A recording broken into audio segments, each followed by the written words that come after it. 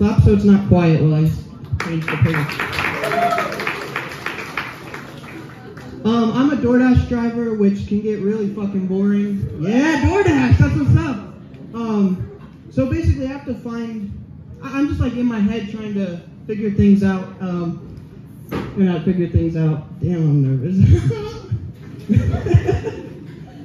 um, basically, I do things just to make it more fun for me. So, like in the winter time, when I'm going up their driveway, I'll just be slipping, fake slipping like that. And I'm hoping their ring camera catches it and maybe I can go viral. So that's one thing I do. Um, when I'm in the rich neighborhoods, because I didn't grow up rich, I grew up with like no money. I like to wave to the rich people for them to wave back, because then I feel part of it. So that's one thing I like to do. But the other day I thought like, I'm in a bad mood. I don't want to be this fucking nice to everybody all the time. So I saw someone in a rich neighborhood and I just go, and I just, I, I was actually angry at him for being rich. And I, I just do that so that maybe they can like wonder all day, like, does someone have beef with me in the neighborhood?